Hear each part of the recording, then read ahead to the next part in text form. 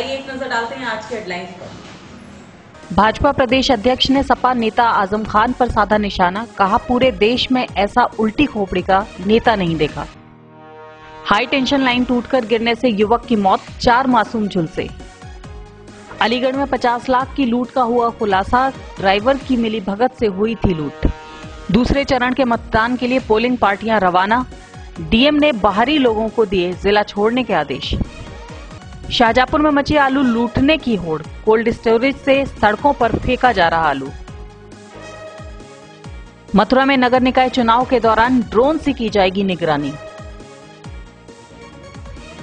UP के उप मुख्यमंत्री ने किया फिरोजाबाद का दौरा।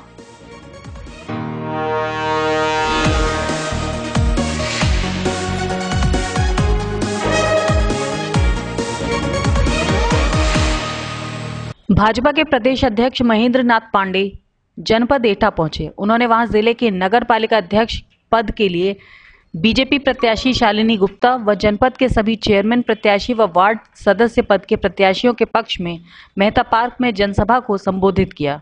इस बीच उन्होंने बसपा और सपा पार्टी पर भी जमकर निशाना साधा। उन्होंने कहा कि मायावती के राज्य में खुशहाली थी ही नहीं। वहीं सपा के राज्य में विशेष वर्ग का ख्याल रखा जाता था। इस बीच उन्होंने आज़म खान का नाम लिए बगैर कहा कि बचा कुचा काम सपा ने एक ऐसे मंत्री को नगर विकास का काम सौंपकर पूरा कर दिया जो उल्टी खोपड़ी का था। उन्होंने कहा, मैंने सपा के नगर विकास मंत्री के जैसा उल्टी खोपड़ी का नेता पूरे देश में नहीं देखा जमाने में बसपा का तो केवल नगरों से रूप खबरों कराता था मायावती के एरिया में नगरों की खुशहाली थी ही नहीं सपा के अंदर नगरों की खुशहाली का सवाल ही नहीं था एक खास लोगों का ख्याल करना सपा के एरिया में था और बचा खुचा काम। उन्होंने पूरे आठ दस साल एक ऐसे मंत्री को नगर विकास सौंपा बुलाया मजूरी से। इतना उल्टी खोपड़ी का मंत्री हिंदुस्तान में कहीं देखा नहीं गया। नाम लेना पड़ेगा, समझ गया? समझ गया? पूरे जीते हुए भाजपा के चेयरमैनों मेयरों को उपासकों को परेशान करना, उनको काम करने देना, उनके अधिकारों की कटौती करना। पूरा कार्यकाल इससे पूरे विभाग की बर्बादी करना। और जबकि आज उनतीस परसेंट आबादी उत्तर प्रदेश में शहरी आबादी बिजली विभाग और पुलिस की लापरवाही एक युवक व स्कूल से घर लौट रहे मासूम बच्चों पर भारी पड़ गई। ट्रॉली में ओवरलोड भरी लकड़ी के ऊपर से लटक रहा हाई टेंशन लाइन का तार टूटकर नीचे गिर गया। जिससे वहाँ से गुजर रहे बाइक सवार युवक की जलकर मौत हो गई, जबकि चार मासूम बच्चे बुरी तरह झुलस गए, जिन्हें शाहजहापुर जिला अस्पताल में भर्ती कराया गया है। डीएम ने घटना पर दुख जताते हुए जाँच के आदेश दिए हैं। अलीगढ़ में अनाज व्यापारी से हुई लूट का पुलिस ने खुलासा किया है। 16 नवंबर को थाना खैर क्षेत्र को करसुआ इलाके में घटना घटी थी। इस मामले में पहले 50 लाख की लूट बताई गई थी, फिर पीड़ित ने 5 लाख की लूट की तहरीर दी थी। लूट की रकम कम करने के पीछे क्या कारण टिक। लूट की रकम कम करने के पीछे क्या कारण रहे? ये पुलिस भी खुलकर नहीं बता रही है। लेकिन घटना में शामिल तीन लोगों को गिरफ़्तार किया गया है, जबकि दो लोग अभी भी फरार हैं। पुलिस ने उनके पास से तेईस लाख छियासी हज़ार रुपये बरामद किए हैं। बाकी की रकम के बारे में पुलिस पूछताछ कर रही है। पुलिस के अनुसार घटना में किशन लाल के ड्राइवर छोटे लाल ने लूट करने के लिए गाँव के दो लोगों को उकसाया था। किशन लाल को दिल्ली स्थित नरेला मंडी से धान का पैसा लेकर आना था और इसके लिए एक किराए की बोलेरो गाड़ी की बुकिंग कराई गई थी। ड्राइवर छोटे लाल को रुपयों की रकम की पूरी जानकारी थी।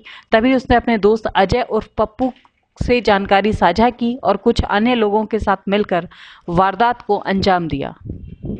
वाली मेन रोड पर। एक लूट की घटना हुई थी जिसमें पीड़ित ने अपने पास से पाँच लाख रुपए लूटा जाना बताया था। घटना वाली रात में ही लुटेरों का जो ज़िक्र किया गया था, वो जिस गाड़ी ले आए थे, वो गाड़ी भी खराब हो गई थी, इससे वो बरामद हो गई थी।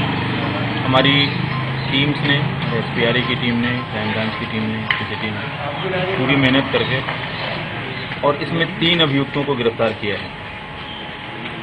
जो सेठ किशनलाल, जिनका ये पैसा गया था, उनका ड्राइवर भी इन्फॉर्मर था, जिसने पैसा जाने की बात बताई थी। और लूटने वाले भी, उस ड्राइवर के जानने वाले थे अब तक जो इनके पास से इस लूटी हुई रकम का जो हिस्सा था, वो करीब 24 लाख रुपए बरामद किया गया है। और इनका ये कहना है कि उस, जो उस समय रकम लूटी गई थी, वो लगभग पचास लाख रुपए थी। शेष जो फरार अभियुक्त हैं, उनके पास से शेष रकम और उनकी गिरफ्तारी किया जाना बाकी है। इस सिलसिले में चूँकि उन्होंने पाँच लाख रुपए की ही लूट बताई, शेष रकम इनके पास कहाँ से आई? उसको क्यों डिसोन कर रहे हैं? क्यों उन्होंने उसके बारे में, हालाँकि शुरू में उन्होंने बताया था पचास लाख रुपए गए लेकिन बाद में एफआईआर करते समय साफ़ मना कर दिया तो आयकर विभाग को ये मामला संदर्भित किया गया है कि ये बाकी रकम जो इनके पास, लुटेरों के पास मिली है जो उस गाड़ी से ही लूटना बता रहे हैं। वो कहाँ से आई थी और इतना लंबा कैश ट्रांजेक्शन कब हुआ, कहाँ हुआ, किसने किया, जबकि दो लाख से अधिक के कैश ट्रांजेक्शन की मनाही है। तो और ये बैंक से निकाली हुई रकम भी नहीं थी। तो इसके बारे में उनको संदर्भित किया गया है और इनकम टैक्स के अधिकारी आके इस सिलसिले में बातचीत करेंगे। अभी मुलजिम हमारे पास हैं रिकवर्ड नोट हमारे पास है। वो बात कर लेंगे उसके बाद ही ये स्थिति क्लियर होगी। कहाँ? नरेला मंडी से। फिर क्या आपराधिक रिकॉर्ड है अपराधियों का? नहीं जो पकड़े गए हैं इनका आपराधिक इतिहास नहीं है लेकिन जो फरार अभियुक्त हैं उनका इतिहास। यूपी में नगर निकाय के दूसरे चरण के चुनाव के लिए आज पोलिंग पार्टियों को मतदान केंद्रों के लिए रवाना कर दिया गया है। शाहजहांपुर में आज सभी 527 पोलिंग बूथों के लिए पोलिंग पार्टियों को उनके गंतव्य के लिए भेज दिया गया है। यहाँ कल यानी 26 नवंबर को नगर निकाय के लिए मतदान होना है। वहीं सुरक्षा व्यवस्था दुरुस्त करने के लिए शाहजहांपुर के डीएम नरेंद्र कुमार सिंह ने ज़िले में किसी भी बाहरी व्यक्ति के आने या रुकने पर रोक लगा दी है। साथ ही चेतावनी दी है कि यदि कोई बाहरी व्यक्ति पहले से रुका है तो वो शहर छोड़ दे। देखिए, हमारी पोलिंग पार्टीज़ शाहजहांपुर से, जलालाबाद से और तिलहर से और पुआया से, यहाँ से रवाना हो रही हैं। कुल हमारे पास चार नगर पालिकाएँ हैं, परिषद और छह टाउन एरियाज़ हैं। सभी तैयारियाँ हमारी पूर्ण है। इस समय हमारी पोलिंग पार्टीज़ रवाना हो रही हैं ऑलरेडी और हमने आचार संहिता के अनुपालन के लिए सभी को हिदायत दे रखी है। अब ये कल से चुनाव प्रचार जब से बंद हुआ है, हमने सभी होटलों पे छापे डलवाए हैं। कहीं कोई बाहर का व्यक्ति जनपद में इस समय रहने के लिए आहर नहीं है। तो सभी से अपील है कि यदि वो बाहर का हो तो तत्काल जनपद छोड़ दे। इसके अतिरिक्त यदि वो उस नगर पालिका परिषद या उस टाउन एरिया का वोटर नहीं है तो वो टाउन एरिया या नगर पालिका परिषद छोड़ दे। इसके अतिरिक्त बाकी सभी हमारी पुलिस फोर्स पूरी तरह तैनात है। सफिशियंट पुलिस बल हमारे पास उपलब्ध है, हम निष्पक्ष चुनाव कराएँगे। क्या आपने कभी आलू की लूट देखी है? अगर नहीं देखी तो आज हम आपको आलू की लूट दिखाएँगे। जी हाँ शाहजहांपुर ज़िले में इन दिनों कोल्ड स्टोरेज मालिक स्टोर को खाली करने के लिए कुंतलों आलू सड़कों पर फेंक रहे हैं। लिहाजा मुफ़्त का आलू बटोरने के लिए लोग घरों से बोरियाँ लाकर इसे भरने में जुटे हैं। वहीं लाचार किसान बस तमाशबीन बने हैं। इस मामले में किसान हनीफ का कहना है कि बाज़ार में आलू का भाव बेहद कम हो गया है। बीस रुपए में छः आठ और दस किलो आलू तक मिल जाते हैं। वहीं कोल्ड स्टोरेज में रखे आलू को छुड़ाने के लिए उन्हें 50 किलो के एक बोरे की कीमत नब्बे रुपए देनी पड़ रही है। ऐसे में उन्हें फ़ायदे की जगह नुकसान उठाना पड़ रहा है। इस मामले में कोल्ड स्टोरेज के मालिक वही इस मामले में कोल्ड स्टोरेज के मालिक का कहना है कि भुगतान न होने से उन्हें लाखों का नुकसान हो रहा है इसलिए वे स्टोर खाली कर रहे हैं। आलू मद्दा हो गया इसीलिए फेंका जा रहा है और क्या? अच्छा इसी रेट में बिक रहा है या नहीं? अरे बहुत मद्दो आलू बिकती। है बीस रुपया छह किलो आठ किलो दस किलो बिकती है। के फेंको जाए रो मारे फेंको जाए भाई किसान को वहाँ पड़ता आवे तो नहीं सिखावे ना तो किसान छुटा नहीं पा रहा है। क्योंकि बाज़ार में इसका कोई भाव ही नहीं बचा। भाव नहीं बचा तो किसान ने छुटाया नहीं। इस वजह से सड़कों पर फेंका जा रहा है सब। आपका कितना पैसा बनता है एक पैकेट पे? हमारा एक पैकेट पे लगभग नब्बे रुपए पैकेट बनता है किराया। और किराए का भी रेट नहीं आ रहा है क्योंकि आलू में। तो इस वजह से फेंक रहे हैं सड़कों पे। क्योंकि मिल तो खाली करना है नहीं तो मिल में सड़ जाएगा। आलू आपका कितना नुकसान हो रहा है? हमारा लगभग बीस लाख रुपए का। आलू मत तो इसको कोई लेता ही नहीं ऐसे गरीब आदमी मिलता है ऐसे ही देगा मिलता है करें लेता ही नहीं मिली लग कोई तो फेंका क्यों गया?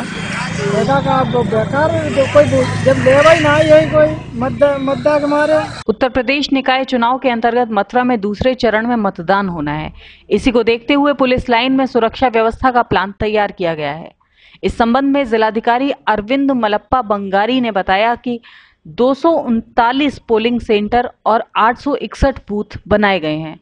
पचानवे सेंटरों पर वीडियोग्राफी और फोटोग्राफी कराई जाएगी। पचासी से अधिक संवेदनशील सेंटर हैं। जहाँ वेब कास्टिंग की व्यवस्था की गई है।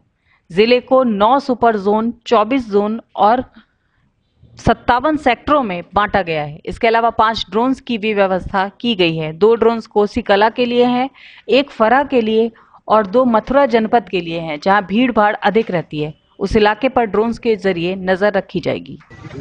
इसके संबंध में आपको अवगत करा दें कि जनपद में करीब टू थर्टी पोलिंग सेंटर से and around eight sixty one booth है इसके जो two thirty nine polling centres पे नाइन्टी फाइव सेंटर्स पे वीडियोग्राफी और, अन्य तरीके से जो फोटोग्राफी होती है वो लगा दी गई है। और 85 जो अति संवेदनशील प्लस है, उस पर वेबकास्टिंग की व्यवस्था की गई है। और पूरे टू थर्टी नाइन सेंटर्स को nine super zone twenty twenty four zones और फिफ्टी सेवन सेक्टर मैजिस्ट्रेट्स में बांटी गई है। और इसके अतिरिक्त पाँच ड्रोन्स की व्यवस्था की गई है। पाँच, दो कोसी के लिए, एक फराक के लिए और दो मथुरा जनपद के लिए, जहाँ जहाँ भीड़ भाड़ इलाका है, उसके लिए निगरानी के लिए ताकि कोई कोई स्टे इंसिडेंट्स ना हो। इसके अतिरिक्त जनपद में करीब इस पहली बार मल्टी पोस्ट ईवीएम का इस्तेमाल किया जा रहा है। मल्टी पोस्ट ईवीएम मतलब इसमें एक कंट्रोल यूनिट होगा और दो बैलेट यूनिट होगी और एक ही कंट्रोल यूनिट से दो बैलेट यूनिट चलेगी। और सिर्फ़ नगर निगम में ये ईवीएम का इस्तेमाल हो, हो रहा है तो ये एक ही एक कंट्रोल यूनिट से एक एक मेयर पद के लिए और एक जो पार्षद पद के लिए जो भी वोटर है, अपना वोट कास्ट कर सकता है। इसके अतिरिक्त हमारे ईवीएम की जो प्रिपरेशन है, लगभग खत्म हो गई है। कल पोलिंग पार्टी निकलेगी मंडी से और अन्य जगह हर विधानसभा, हर तहसील के अलग अलग प्रस्थान की जगह है। मथुरा के लिए मंडी है। मथुरा नगर निगम और फरा के लिए मंडी है। मंडी जगह है। इसके अतिरिक्त, जो भी इंसिडेंट्स आते हैं, उसको हैंडल करने के लिए पर्याप्त पुलिस बल भी मिल चुका है और आशा करता है कि कोई हमारी तैयारी निकाय चुनाव को कराने के लिए पूरी हो चुकी है। जैसा आप देख ही रहे हैं कि पुलिस की ब्रीफिंग अभी ऑर्गेनाइज की रही है पुलिस रन ग्राउंड पे। इससे पहले चुनाव आयोग द्वारा बीसी करके ज़रूरी दिशा निर्देश हम लोगों को दे दिए गए हैं। आज शाम पाँच बजे से चुनाव प्रचार समाप्त हो जाएगा। हमारे पास पर्याप्त सुरक्षा बल आ चुका है, आगरा से भी और हमारे जनपद से।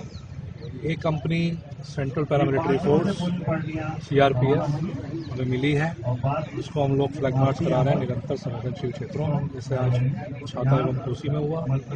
पाँच कंपनी पीएसी जो हमें मिली है। उसको पोल वाइज बूथ वाइज लगाया जा रहा है। साथ ही प्रॉपर सुरक्षा व्यवस्था की पूरी तैयारी कर ली गई है। संवेदनशील अति संवेदनशील लोगों का भ्रमण हमारे द्वारा कर लिया गया है। निरंतर प्रयास किया जा रहा है। और एक मैं ज़रूर संदेश देना चाहूँगा आपके माध्यम से। पूरे भयमुक्त वातावरण में निष्पक्ष तरीके से हम लोग चुनाव कराएँगे। और कोई भी व्यक्ति, चाहे वो कोई भी हो।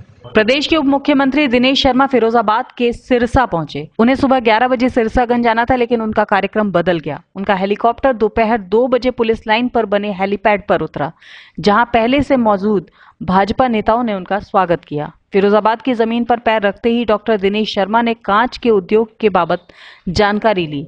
उसके बाद वे कार में सवार होकर सिरसागंज के लिए रवाना हो गए। डिप्टी सीएम ने सिरसागंज नगर पालिका से भाजपा प्रत्याशी संत कुमार के पक्ष में मतदान करने की अपील की।